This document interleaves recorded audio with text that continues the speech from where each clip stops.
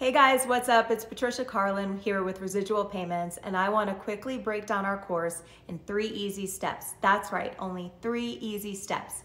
I'm going to tell you how it works and how we teach people to create automated payments companies for themselves. To explain how our business works, let me ask you one simple question.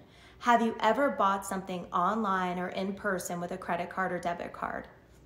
Obviously, you don't need to think about it. The answer is yes. So, do you know that every time your card is used to shop, there are companies that make money on it? Some of you may have heard of Square. They're a very, very common payment processor and usually associated with merchant services. But the point is, there's always somebody like me that makes a small percentage of each sale when you shop at a business online or offline, as long as that business is my client and soon to be your client. Now, every business in the world needs to accept some form of credit card payment, especially in 2020. And that means they need someone to set up their payment processing. So when we first started, we wondered, why can't that person be us? Fast forward 20 years later, and we've gone from being the first person to ever open a merchant account with a bank to the world's only training company on how to start, manage, and grow an automated payments company.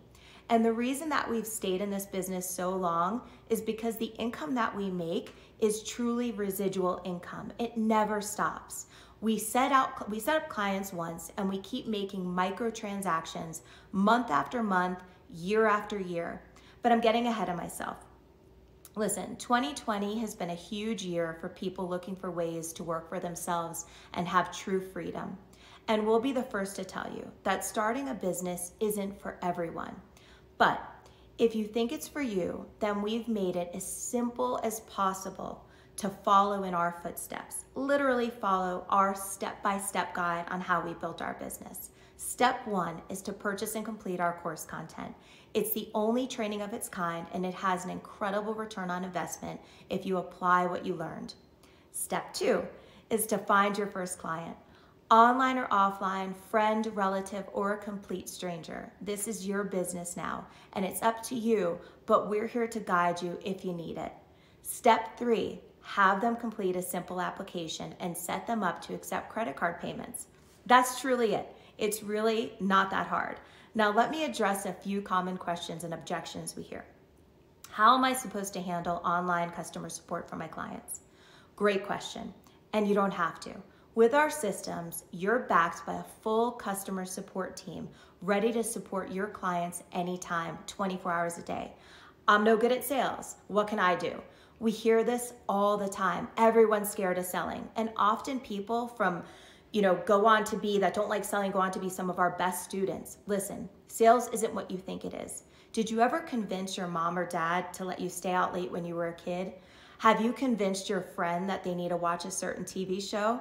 Have you ever told somebody that they just had to visit a certain restaurant because the food was amazing?